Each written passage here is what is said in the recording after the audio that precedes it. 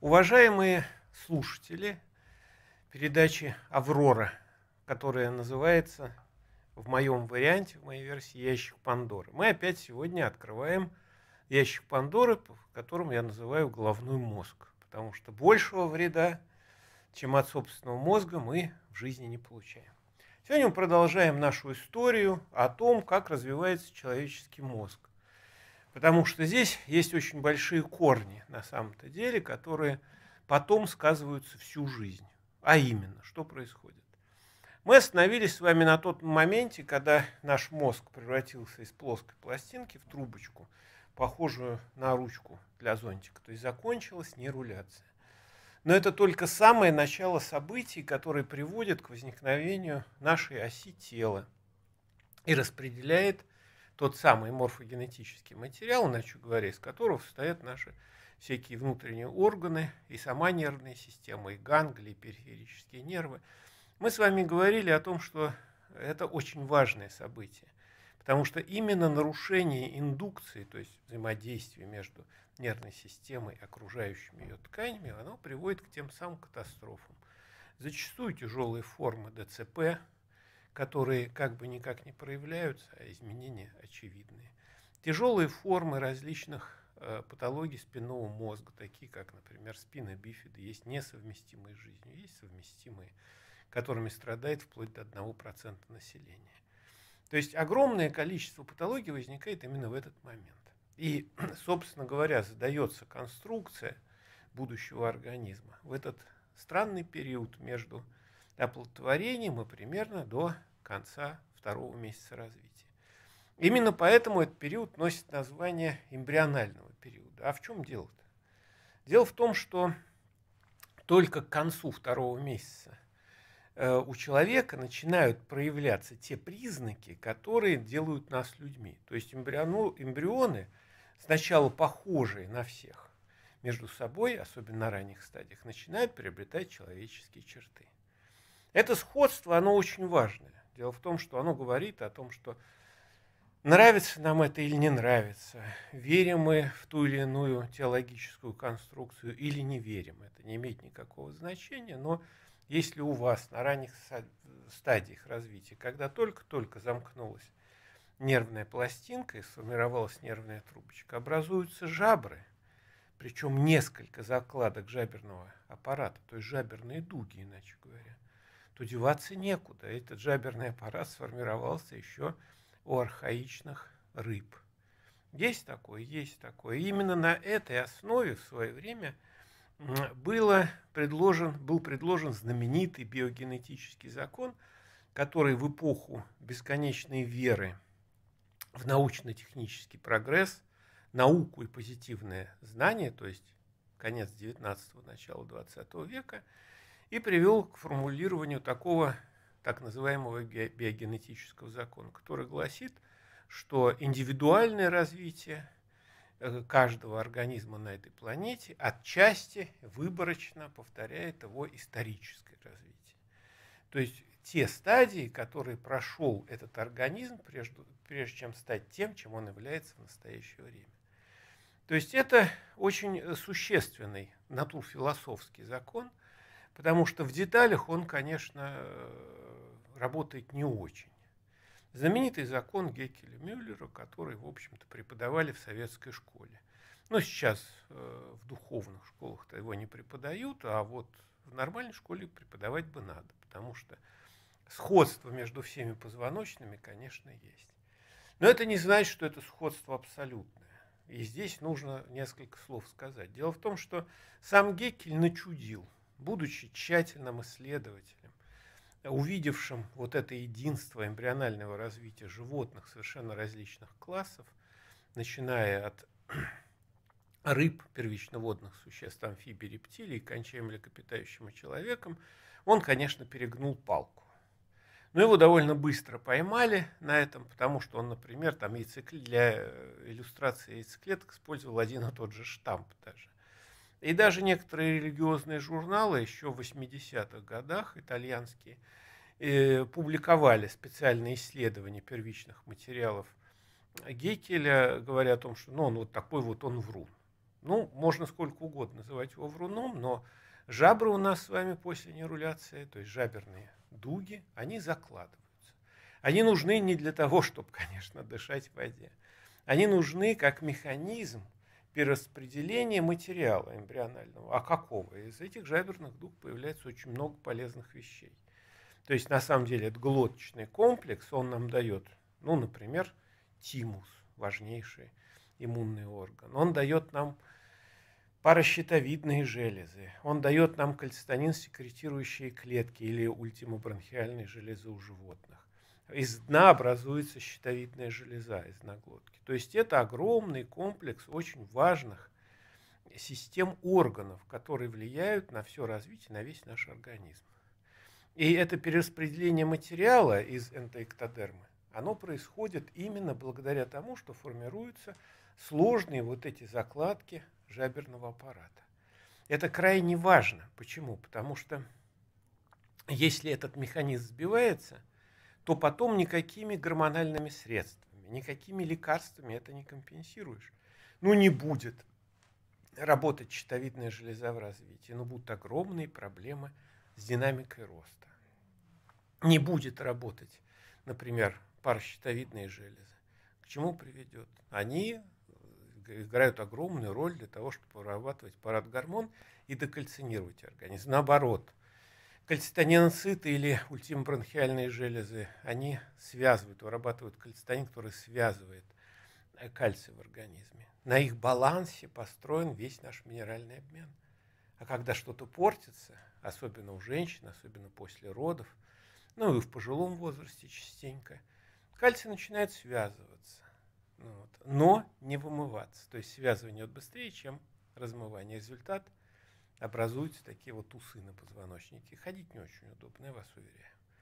А с другой стороны, бывает наоборот. Значит, пара щитовидной железы очень активно, агрессивно работают, кальцитониноциты не справляются, и тогда начинается остеопороз, хорошо известный для женщин, особенно связанных с родами. То есть, иначе говоря, это те механизмы, которые закладываются в очень ранние сроки. И они отражают эволюционный процесс, тот самый, о котором я только что говорил. Действительно, если мы обратимся к эволюции и посмотрим, а почему интересно, вот у нас такие, такая разная реакция желез, происходящих из общей закладки жаберных дуг. Да дело-то в том, что кальцитониноциты или ультимобронхиальные железа появились в эволюции где-то около 500 миллионов лет назад как механизм кальцификации организма, образования внутреннего и наружного скелета. А вот э, парщитовидные железы – это эволюционное наобразование, которое в два с лишним раза моложе.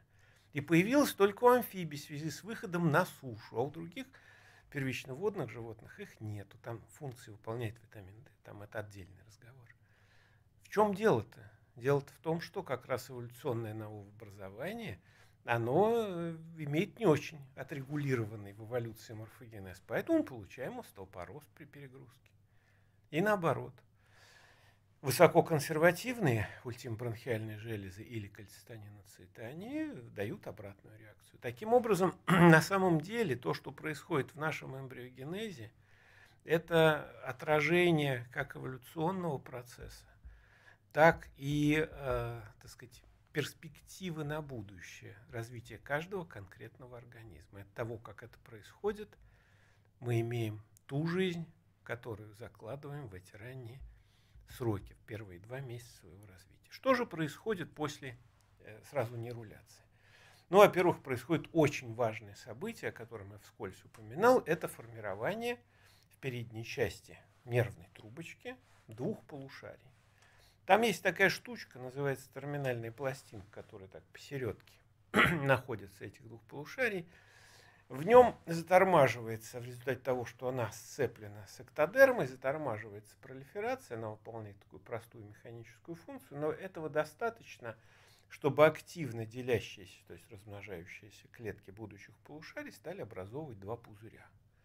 То есть получается как бы такая палочка и два пузырика спереди. Это очень важные два пузыря. Это все будущие полушария головного мозга, которые у нас с вами покрыты бороздами и извилинами. Вот эти парные полушария, сначала делают несколько очень хороших дел.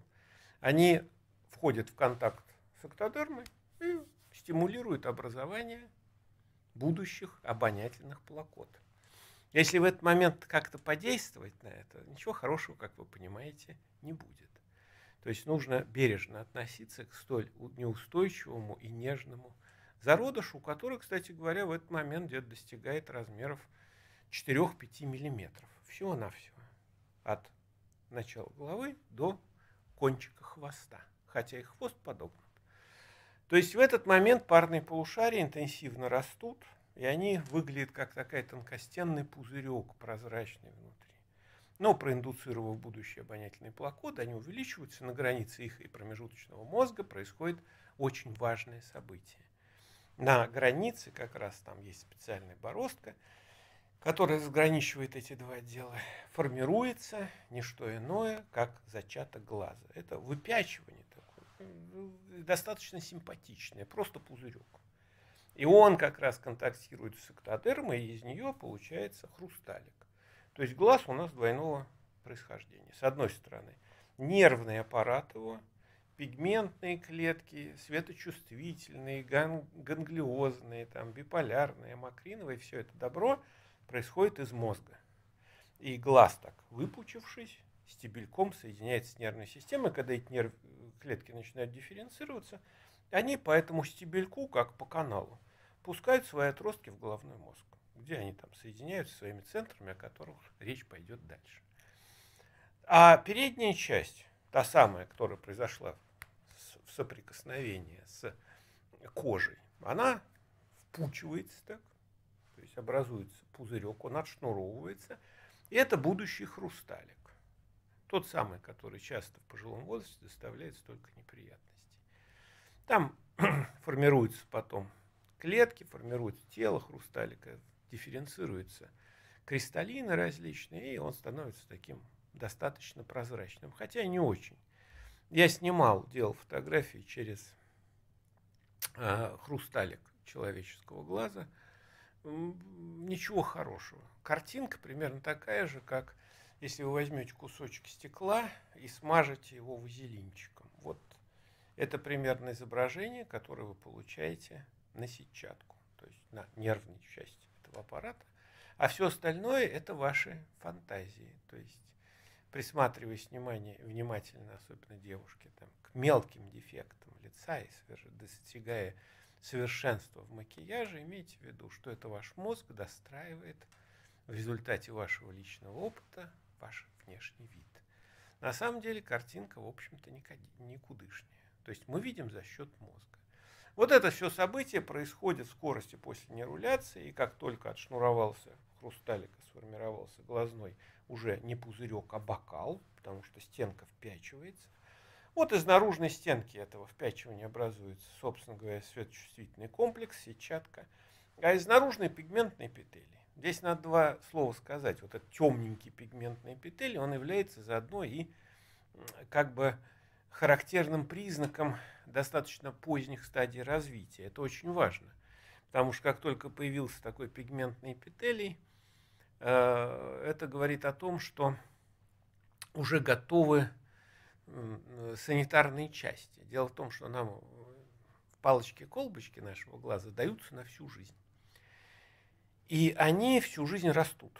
То есть их членники наращиваются, синтезируются светочувствительные материалы все, и они так сдвигаются.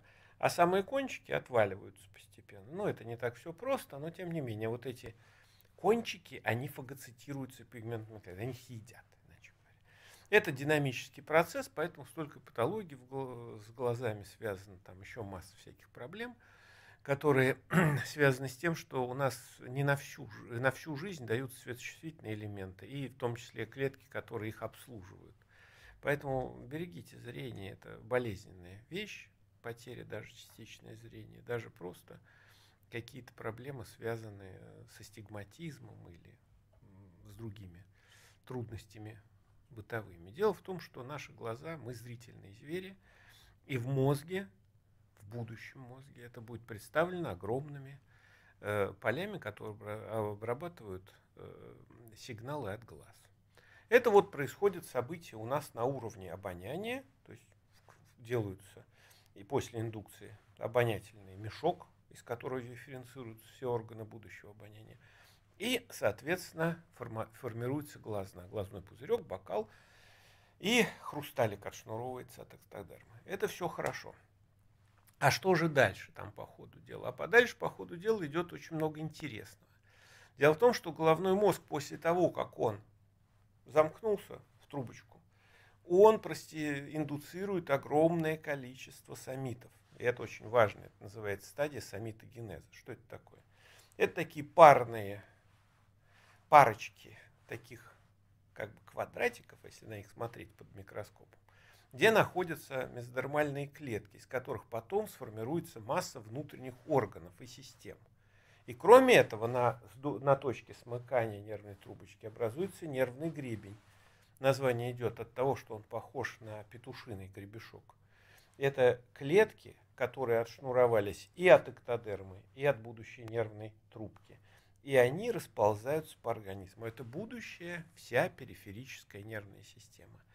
Именно в этот момент при миграции происходят те нарушения, которые вызывают всякие патологии, в том числе и в области управления мускулатурой, конечностей, рук и ног. То есть это очень болезненный и сложный период. Поэтому любые воздействия на цитоскелет этих мигрирующих клеток по организму могут приводить к катастрофе. Если не гибели, то к тяжелым потом патологиям. Даже небольшие воздействия. То есть вот этот период распределения эмбрионального материала по длине зародыша или самитогенез, образование самита, он начинается от головы и продолжается к хвосту. То есть потому что хвост, как вы понимаете, после того, как замкнулся задний кишечно-мозговой канал, то есть та самая трубочка, соединяющая мозги с кишечником, но у нас это не совсем трубочка, это такая пластинка. С этого момента образуется довольно быстро хвост. Хвост у человека большой, длинный. И он составляет на самых ранних стадиях примерно четверть всего всей длины зародыша. Если кто-то говорит, что кто-то хвоста там не видел, ну, откройте вот книжку эту самую по стадии эмбрионального развития человека, или откройте книгу «Мой атлас по развитию», по атлас мозга человека, там большой участок есть. Э, есть еще книжка «Эмбриональная патология нервной системы» где огромное количество человеческих зародышей с совершенно развитыми хорошими хвостиками. Хвосты у всех были. Поэтому гордиться особенно нечем. Смотрите, чтобы этот хвост из материального не превратился в голове виртуальный. Это еще хуже. Так вот, получается, что там в конце хвост, туда, кстати говоря, продолжается некое количество позвонков, которые потом сливаются в копчик. О том, что там происходит при захвате пигментных клеток, то есть монгольское пятно, я говорил. Э, что же еще? А самое главное, слуховая система закладывается. Слуховая система закладывается из нескольких эктодермальных закладок после взаимодействия с задним мозгом. Они отшнуровываются в виде слухового пузырька и уходят вовнутрь. Из них, из этих закладок формируются нервы, слуховые образования – и другие сопутствующие структуры э, нашей слуховой системы, которые выполняют, как вы понимаете, тоже роль дистантного рецептора, дистантного анализатора. То есть дистантных анализаторов у нас немного. Это обоняние, это зрение, это слух. И мы еще можем на некотором расстоянии воспринимать тепло, то есть это термомеханорецепторы в конце концов, и э, разные давления, например, звука. Это мы можем без всяких ушей воспринимать. То есть для этого у нас есть кожные рецепторы и звук достаточно сильный. То есть э, происходит закладка основных органов чувств, дифференцировка периферических нервов и, э, собственно говоря, формирование ганглиев около органов, которые их будут обслуживать. Это сложный процесс, и одновременно начинается формирование почек конечностей. Они сначала маленькие, лопаточки. Никаких там пальцев нет никаких папиллярных линий в помине нет, как нет и пальцев. То есть это такие небольшие два выроста, которые увеличиваются. И э, к концу где-то 34 дня, это кто в книжке захочет посмотреть детали, формируется лопаточка пальцевая. То есть еще нет никаких пальцев, а есть такой ластик. внутри которого постепенно на этих стадиях начинает концентрироваться клетки скелетогенной мезонхима. И здесь очень интересный механизм срабатывает. Когда пальцы начинают дифференцироваться, то есть образовываться, еще сначала пластинка, а потом вдруг раз и пальцы. С чего бы это вдруг? А между пальцами происходит морфогенетическая, то есть запрограммированная гибель клеток. Вот здесь-то и работает апоптоз. Потому что с апоптозом проносились 15 лет, так толком из этого ничего не выжили, кроме одного. В эмбриональном развитии этот феномен запрограммированной гибели клеток есть и работает. Да, отработанные клетки, да, часто погибают, но это не универсальный механизм. Еще есть примерно 12 форм клеточной гибели – которые любители апоптоза почему-то не учитывают. И для меня это полнейшая загадка, хотя ответ простой. К апоптозу сделали маркеры, и там накапал, увидел, и ты хороший работник. Ну, таким образом, очень часто строится научное исследование не на том, что надо, а на том, что доступно. Вот э, что происходит в этот момент как раз где-то к формированию приличных пузырей образуется коленка, то есть уже конечности можно увидеть коленку, а можно увидеть пальцевую пластинку, и даже внутри намечаются небольшие закладочки пальцев. Это все очень важно, потому что в этот момент в спинном мозге происходят всякие катастрофы. Потому что там начинается война миров. То есть я говорил на предыдущем своем небольшом выступлении о том, что катастрофа спинальных больных состоит в том, что их нечем протезировать при повреждении спинного мозга. И связано это с тем, что как раз на этой стадии первичной эмбриональной дифференцировки, то есть когда замкнулась нервная трубка, и э, нервы, то есть отростки нейронов, скажем так, они там из многих мест тут, отправились к органам мишеням. Начинается нестерпимая война между нейронами, потому что нейронов-то во много раз больше, чем органов мишени. И именно поэтому 85% нейронов погибает в спинном мозге к тому моменту, когда заканчивается формирование нервно-мышечных связей и между нейронами и органами мишенями. Что происходит? Большие нейроны, которые становятся большими не сами по себе, а за счет того, что они съели неудачника, они вместе отправились к органам мишени, но один успел первым, а второй опоздал. Значит, ну вот Опоздавшего просто съели. Ну, такой каннибализм дружеский. Это обычное дело в нервной системе, поскольку во всех отделах головного мозга на тысячу делений, то есть митозов, когда клетка удваивается, происходит от 6 до 8 неудач. Уж очень сложный механизм дележа хромосом, уж очень сложный механизм деления клетки, даже митозом. Это не так все просто. И часть клеток гибнет. И, э, как вы понимаете, на тысячу шесть-восемь покойников это не очень хорошо.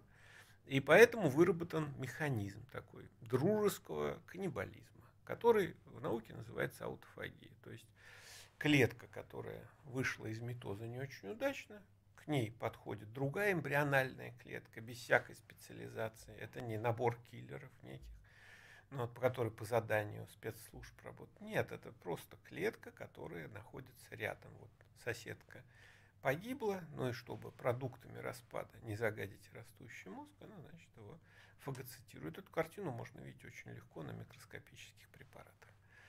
Вот она фагоцитирует, растворяет эту клетку полностью, уничтожает ее. И э, начинается, собственно говоря, дальше увеличивать свой размер за счет того, что она съела соседа. И немножко становится покрупнее. Ну, ей повеселей делиться.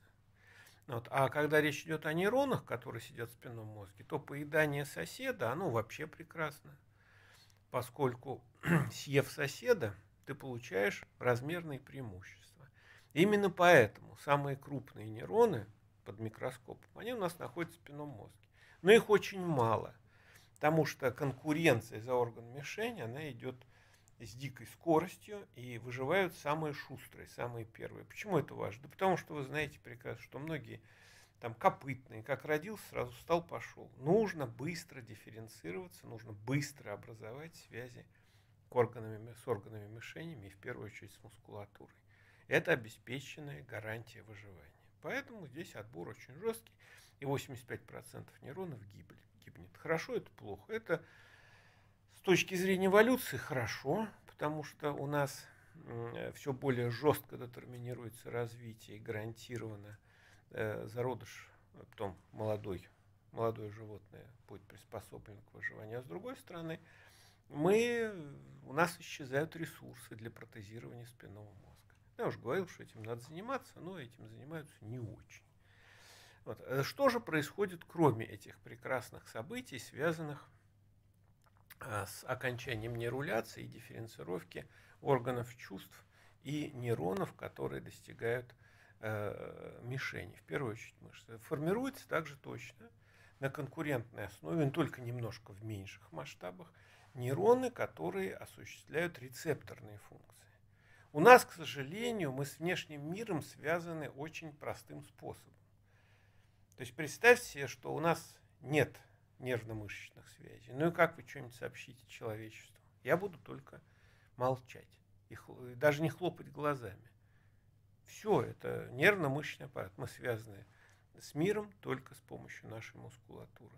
А как там покраснел, не покраснел, это, к сожалению, не поймешь, где да, где нет. К тому же инерция огромная. Поэтому механизм этот очень эффективен, очень хорошо заточен. Есть, конечно, животные типа каракатиц, у которых есть механизм сигнализации другой. Там в сексуальном экстазе, ну, тем более, что это часто один-единственный раз, они начинают активно менять цвет. Там тоже можно что-то сообщить, но не очень много. Мы все-таки не каракатицы. Поэтому у нас вот это вот формирование нервно-мышечных связей очень эффективно и в мозге.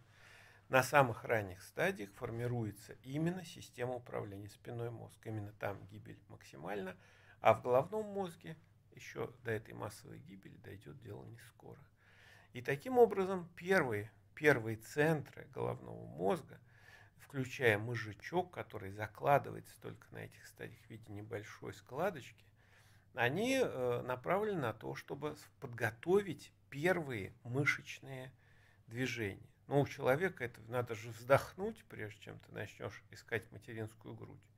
Вот чтобы вздохнуть, там айболит щелкает по попке старается как-то оживить этого самого детеныша, чтобы он стал самостоятельно дышать. Это что? Нервно-мышечный аппарат. Надо запустить целый механизм, целый комплекс взаимодействий, который заставит работать диафрагму и межреберные мышцы, которые включат рецептор концентрации кислорода, то есть гломусные клетки, э, которые находятся у нас околосонных артерий и включить в мозге центры, которые будут контролировать насыщение кислородом крови. Без этого это существо маленькое дышать не будет. Поэтому огромный механизм с обратной связью, который включает это все, он должен созреть. И отрабатывается это все еще, естественно, в утробе матери. И поэтому после первичного распределения материала на ранних стадиях развития начинаются уже признаки человеческой дифференцировки. И они как раз происходят в связи с тем, что у человека, кстати говоря, резорбируется хвост. Он не то, что он отваливается. Нет, конечно. Здесь, кстати говоря, в этой же книжке, которую я показывал, там есть фотографии позднего хвоста. Значит, о чем идет речь? Эти клетки используются для других целей, а сам, сами позвонки, которые закладываются, но ни во что не развиваются, срастаются в копчик. Это хорошо известно. Каждый может у себя пощупать. Это сросшиеся остатки того самого хвоста, который у нас когда-то был. Но надо сказать, что при этом и сам тазовый пояс, он у эмбриона постепенно спускается вниз, поэтому двунаправленный процесс резорбции хвоста и движение тазового пояса. Поэтому у нас такие специфические нервы поясничном отделе, которые, кстати говоря, часто болят уже у взрослых. Это тонкий процесс, который собственно говоря, и завершает формирование человеческого эмбриона. То есть у него уже исчезают полностью закладки жаберного аппарата.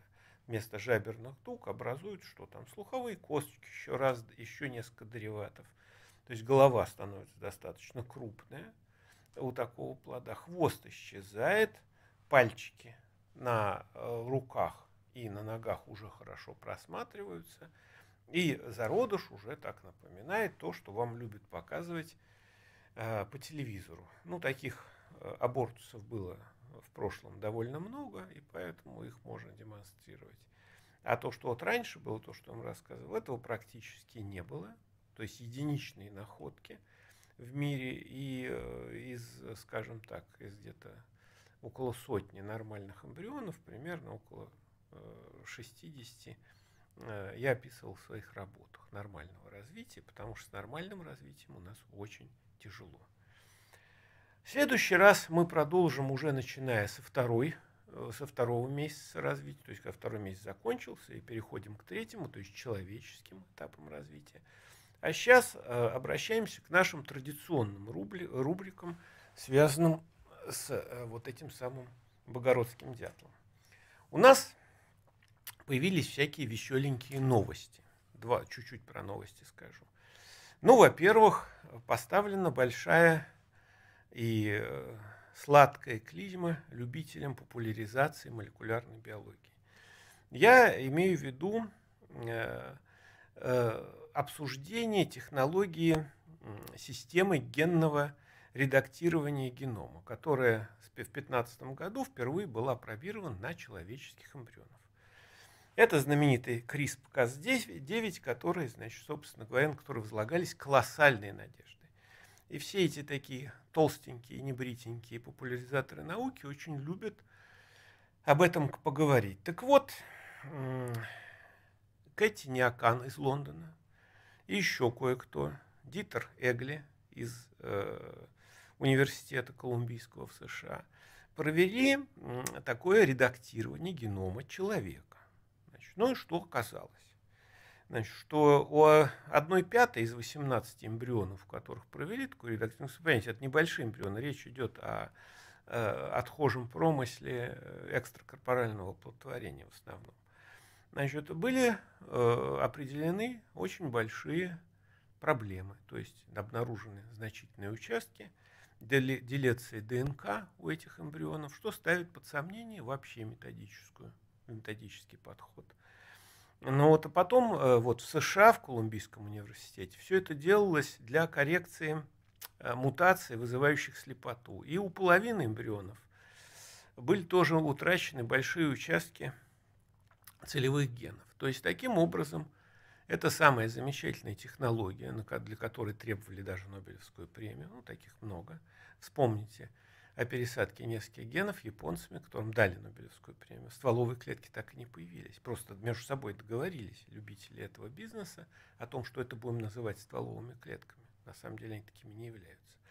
Так и здесь. Эта история закончена, по сути дела, поскольку вызывая делеции больших участков ДНК, они дел, она делается бессмысленной. Вполне возможно, что ее когда-нибудь доработают, э, поскольку а на сегодняшний день э, это не оправдалось. То есть этот подход не оправдался, хотя популяризаторы науки ни за что не откажутся от своих слов, а в интернете аккуратно сотрут свои предыдущие сообщения. Значит, есть еще несколько приятных сообщений, тоже для популяризаторов науки, достаточно малограмотных, о том, что под названием раскрыта тайна вечной молодости стволовых клеток было рассказано ужасное о том, что механизм э, включения хайфлика в эмбриональный период у взрослых людей, э, то есть отрезание теломеров, их восстановление, э, который находится на конце хромосом, образуя эту петлю, оказывается в эмбриональном периоде у взрослых организмов разный. И это ставит под сомнение даже саму концепцию использования эмбриональных подходов у взрослых организмов, поскольку механизм э, разный и э, совершенно непонятный, поскольку восстановление этих самых петель идет, так сказать, и э, без белка, значит, ТРФ-2. В институте Фрэнсиса Крика и в Сиднейском университете пришли к выводу, что радоваться тому, что тайна стволовых клеток еще преждевременно поскольку даже непонятен основной эмбриональный механизм этих ограничений. Вот, собственно говоря, э, что из таких глобальных новостей важно знать, поскольку на них построены, как вы понимаете, очень многие спекуляции и надежды на светлое будущее или вечную молодость, ну, вот, которую нам очень часто, так сказать, рассказывают как о важнейшем достижении. Значит, вопрос. Артур Шин. Из-за голодного детства костная ткань черепной коробки полностью не сформировалась. Теперь начали мучить боль и усталость. Теоретическое хирургическое увеличение объема черепа устранит мою проблему. Вопрос. Нет, не устранит быстрее. Надо как следует обследоваться, потому что голодное детство на отложение кальция в костной ткани черепа не очень влияет. Сейчас объясню в двух словах, в чем дело. У нас есть два типа костей. Одни кости, которые, ну, например, скелетные, они формируются сначала в виде хряща, хрящевой ткани. И потом, когда организм растет, растет, растет, они начинают замещаться костные. Это достаточно длинный, длительный процесс, резорбция и замена костей. Это такое замещающее окостенение. А вот череп у нас формируется как раз сразу как кость. Почему? Потому что наш череп, из которого стоит крышка нашего головного мозга – он произошел из покровных костей. Ну, кто варил супчик из стерлядки или, например, из осетровых голов, тот знает, что если как следует поварить, то кости, вот эти черепные, они хорошо отделяются, такие как бы щитки. Вот эти кожные кости наших далеких предков в виде хрящевых рыб, они у нас превратились в кости черепа, погрузившись в дерму и кальцифицировавшись. То есть, что они сделали? Стали настоящими костями. Но там нет замещающего окостенения. Череп у нас не формируется хрящевым, он сразу образуется костным. И поэтому у нас на черепе много швов, потому что начинается от зоны окостенения распространяться до упора, и поэтому образуются сложные такие вот швы черепные. Маловероятно, что этот процесс можно как-то там сильно изменить. Хотя Э, антропологам хорошо известно, что многие нации и народы ну, любили там подеформировать череп. То, как авары там наденут кожаную из сыромятной кожи поясочек, и череп такой длинненький, ну, считалось красивым. То, как э, инки приложат палочку к колбу сделают такой наклонненький. То есть много вариантов. Мода, она, так сказать, позволяла деформировать детские черепа, а поскольку они сразу окостеневают, растут, там между, шва, между пока швы не сформировались, можно, значит, так деформировать. Поэтому быстрее всего, э, уважаемый Артур, вам надо как следует обследоваться не на голодного детства, а на предмет генетических особенностей и особенностей метаболизма. А увеличивать э, объем черепа не надо. Я боюсь, что это вряд ли поможет. Значит, Евгений Бычков задает вопрос. Правильно ли я понял, что полетная... Так, секунду. Э, что полетная паранцефалия – результат сбоя морфогенеза, дифференцировки при отсутствии гравитационного воздействия и при полной генетической тренации она была бы невозможна. Насчет последней части вы совершенно правы, что да, при полной генетической детерминации развития это было бы невозможно. Но маловато у человека генов, чтобы все запрограммировать. 25 тысяч генов это не так много. И все не запрограммируешь. Нейронов-то 150 миллиардов, а даже у мышки это очень много. Поэтому большинство механизмов очень примитивны. Ну, например, те же самые нейроны, которые ползут в кору полетная паранцефалия, это что? Нейроны ползли, ползли, не доползли, образовалась дырка.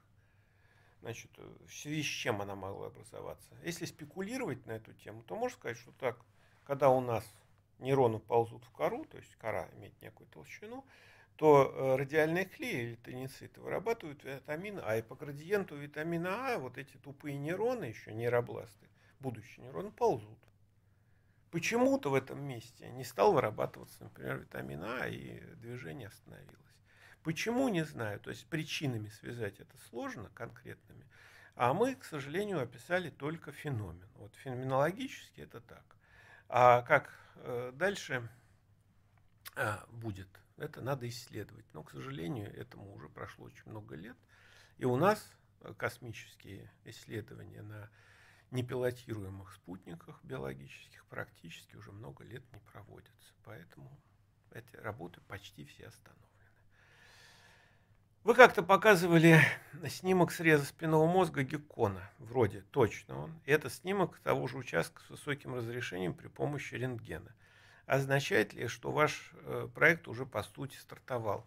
Э, это означает то, что э, есть ученые, которые продолжают над этим работать. Это ваш покорный слуга и руководитель лаборатории Института кристаллографии Виктор Евгеньевич Осадчиков несмотря на отсутствие денег, внимания, политической воли и всего остального, что должно быть, мы продолжаем эту работу. И продолжаем ее уже очень много лет. И мы дошли до того градуса, если говорить мистическим образом, что да, мы теперь на маленьких объектах можем видеть это высокое разрешение. Сейчас готовится тоже статья, где там разрешение 1,6 микрона, то есть это то, что нам нужно для человеческого томографа, который позволит определять прижизненно э, человеческие свойства, то есть имеется в виду конструкцию мозга, не только усопшего, но и живого. Пока это делается на маленьких объектах, потому что для того, чтобы сделать вот такого размера объект, отсканировать, нужно мощности реальные э, компьютеров, ну, такие как в Сбербанке, как минимум. А для этого нужно, как вы знаете, очень много денежек потому что это нужно обслуживать, содержать, программировать.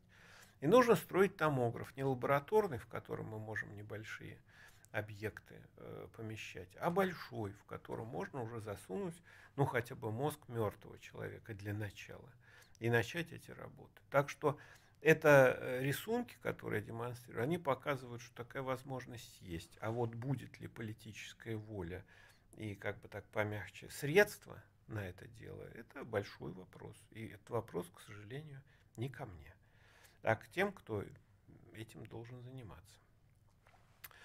Э, э, еще один вопрос. Можете ли вы разработать комплекс упражнений для ежедневной разминки кровообращения всех областей мозга?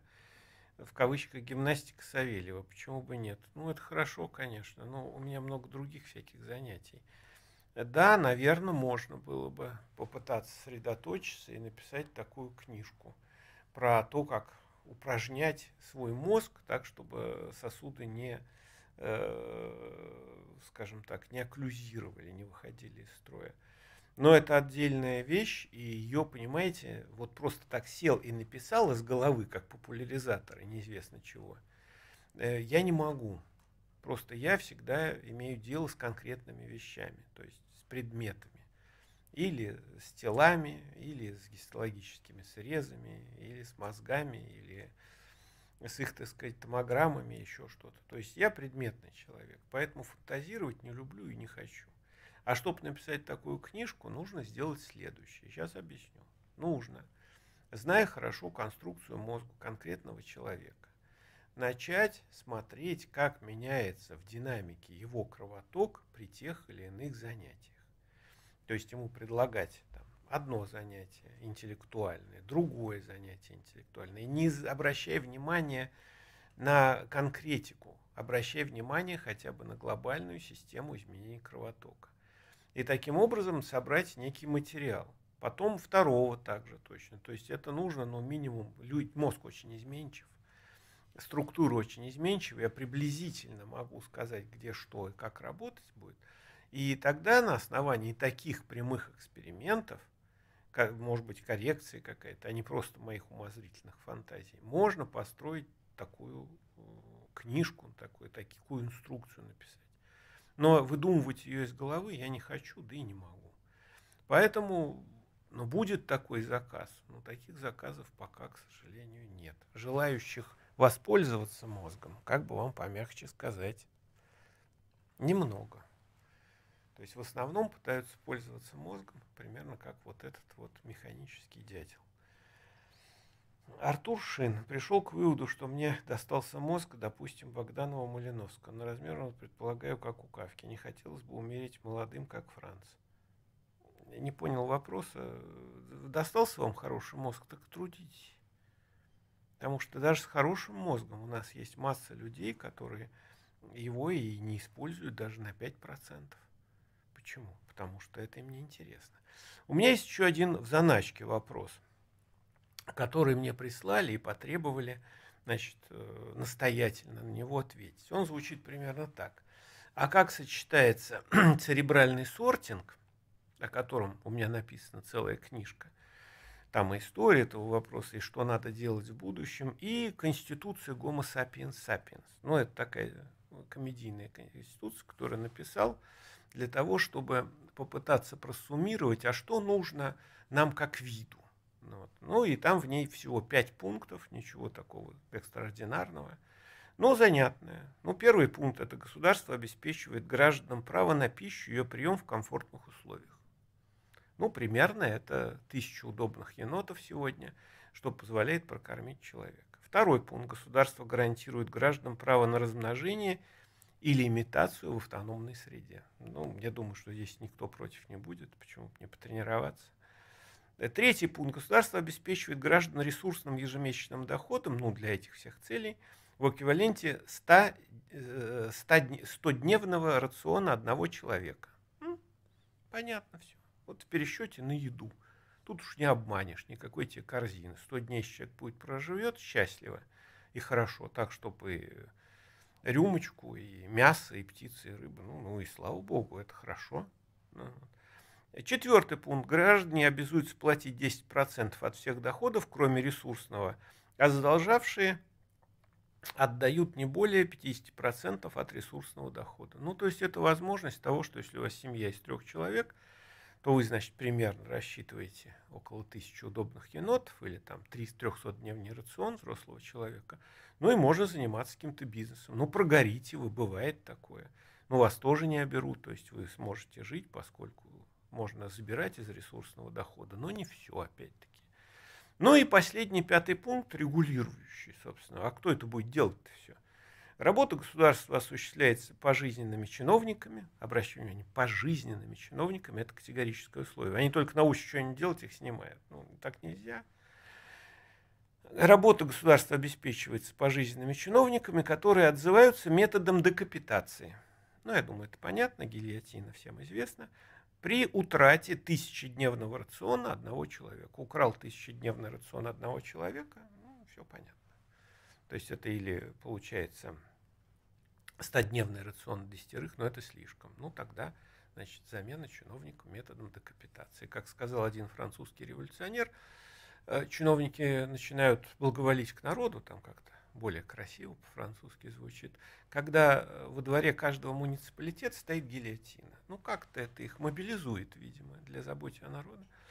И мне говорят, а вот как это соотносится вся эта история с э, церебральным сортингом. Ну, как раз здесь прямая связь.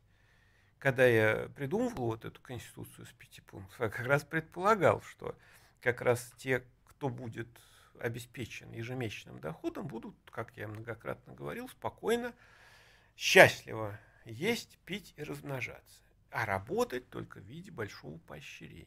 Но кроме тех, у кого нет специфической одаренности, которая выявляется к чему? Половому созреванию. Тогда можно отсканировать мозг и сказать, что человек имеет те или иные возможности. Ну, не захочется ему, пусть занимается чем другим. Но те возможности, которые у него будут найдены, в них он будет иметь огромные преимущества. Меня часто ругают, говорят, а как же раньше? А раньше всех этих детей, которые должны получать одинаковое, ну или близкое к одинаковому воспитанию и образованию, надо воспитывать и образовывать. Иначе мы упустим время – и потом, после сканирования, уже ничем не поможешь. Сканирование – это специализация уже созревшего мозга в той или иной области. Поэтому, уважаемые господа, никакого здесь, никакой дискриминации, никого нет. Просто когда вы бьетесь, как рыба об лед, и пытаетесь заняться одним, другим, третьим, да, конечно, я понимаю, жизнь она занимательная получается, но, может быть, вам заняться тем, чем вы будете, от чего будете получать удовольствие, наконец-то. Хотя бы знать о том, к чему вы лучше приспособлены вы можете, это не будет дискриминацией. А если вы ничего не можете, ну, тоже очень хорошо. Продолжайте заниматься своим любимым занятием. Вас обеспечит размножение едой и доминантностью. Но доминантность – это уже награда, если вы будете хорошо вести и, так сказать, показывать законопослушность, то вас допустят к какому-нибудь труду. Потому что если допускать непрофессионалов, мы уже с этим сталкиваемся с вами каждый божий день к труду, то получается еще хуже. Они вам понаделают. Поэтому непрофессионалов желательно не подпускать, просто кормить, содержать, дешевле выйдет. Ну, это уже человечество это все показало. Это было многократно. Как только государство позволяло себе содержать людей, малопригодных для социальной жизни, отдельно, так сказать, ну просто кормить, поить, размножать. А он так и делал. Ну что делать? Вспомните, что было в Древнем Риме и прочее. То есть, к сожалению, наш мозг так разнообразен и так сложно устроен, что э, мы не можем э, сделать всех одинаковыми, как солдаты. Люди разные, и в этом проблема. То есть мы, к сожалению, никак не можем добиться единства, единомыслия, единоповеденческого подхода. Это залог прогресса человечества. Постараемся это все соблюдать. У нас еще есть чуть-чуть время на несколько вопросов, так поэтому я сейчас постараюсь ответить. Э, возможно ли, что именно благодаря древним мужчинам образовались лобные доли, так как выживали только те племена, которые умели делиться с соседями? Это кто это с соседями у нас делился? Ну-ка, ну-ка, поподробнее бы здесь было бы интересно узнать. Женщина вынуждена, должен быть эволюционный механизм. Женщина вынуждена выращивать потомков. Это вынужденная дележка пищи поначалу была вынужденный механизм. С чего это он вдруг добыл большую жирную ногу, отрезал от какого-нибудь кабана, и он ее пошел делить? С какой-то пьяной радости. Много вы видите людей, которые добыли большой мешок с деньгами, пошли его делить? Это сейчас уже после эволюции. Как такое в голову вообще может прийти? Нет, это биологический механизм. Кто просто не делился, тот просто подыхал. Все. Эволюция негативный процесс, а не позитивный. Не путайте, пожалуйста, Божий дар с яичницей. Эволюционный процесс как дуршлаком по макаронам. Вероятность такая, что в дырочку попадет. Поэтому вот ни, ни, никаких глупостей. То есть должен быть жесткий биологический механизм. Когда уничтожают, этот биологический механизм уничтожает одних, оставляет других. Все. Поэтому никакого механизма для того, чтобы мужчины процветали вот такие, я придумать лично не могу при всей моей фантазии.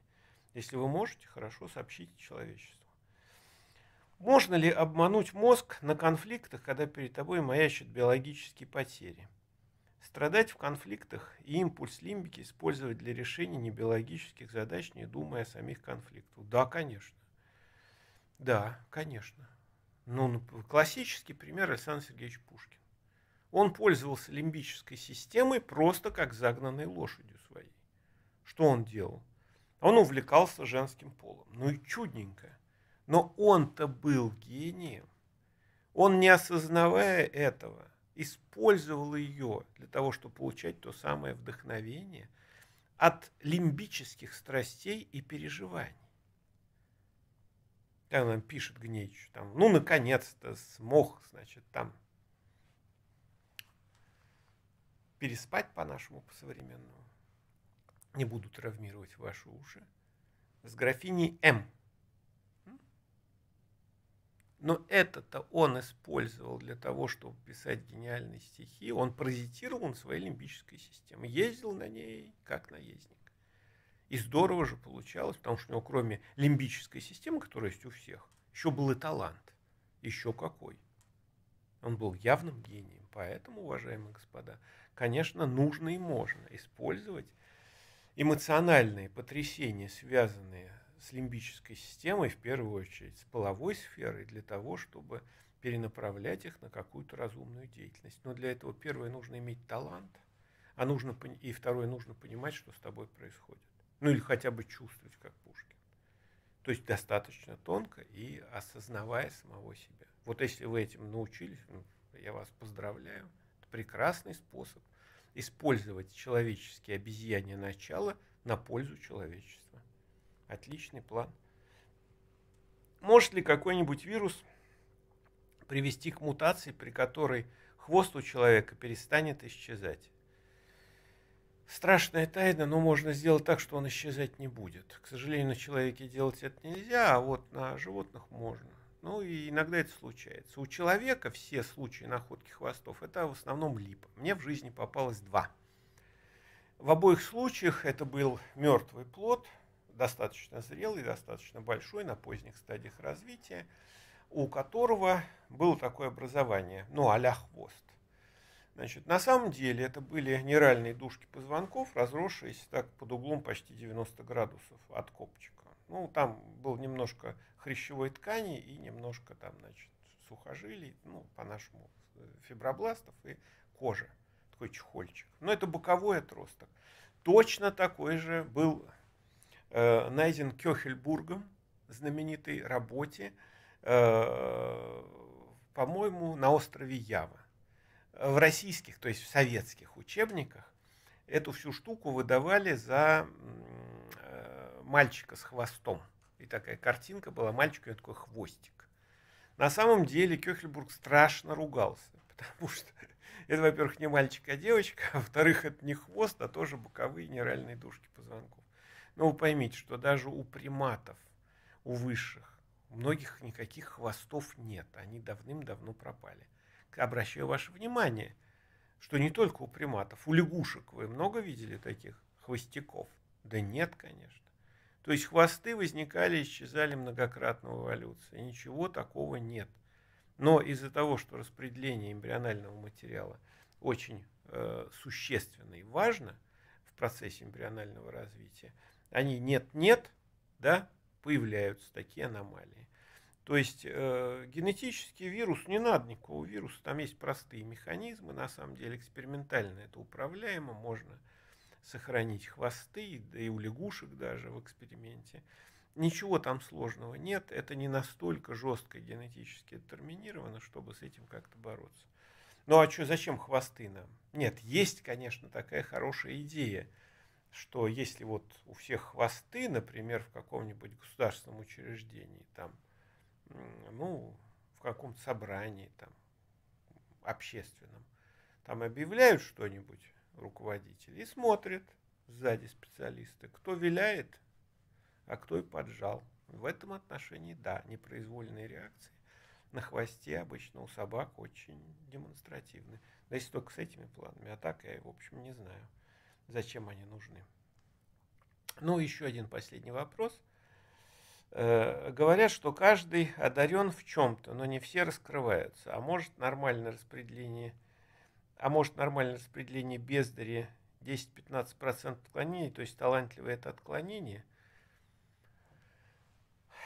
Считайте, как хотите. Но талантливые что-то производят обычно, стараются. Но если они не производят только детей.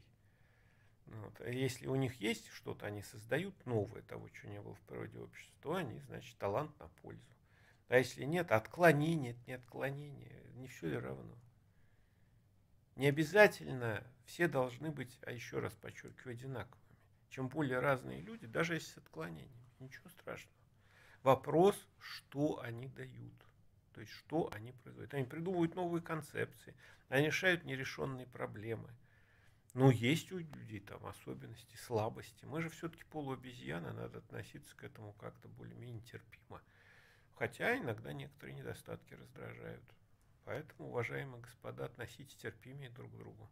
Особенно в наступающем новом году. Теперь мы встретимся уже в следующем году в начале года. На этом я с вами прощаюсь.